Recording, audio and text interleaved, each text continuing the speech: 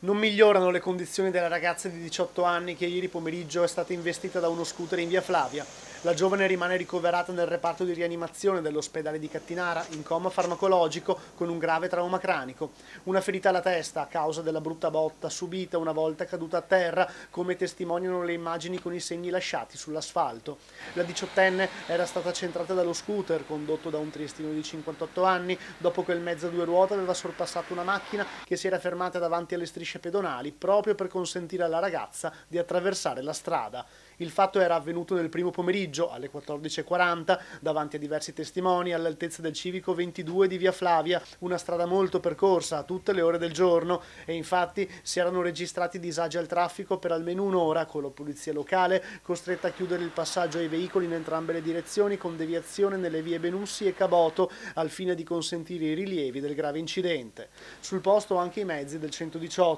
i medici avevano subito capito che la situazione era più grave del previsto visto, dato che la giovane donna non si muoveva e non era cosciente. Era stato necessario immobilizzarla sulla barella e intubarla sul posto, prima di caricarla in ambulanza e portarla all'ospedale di Cattinara in codice rosso.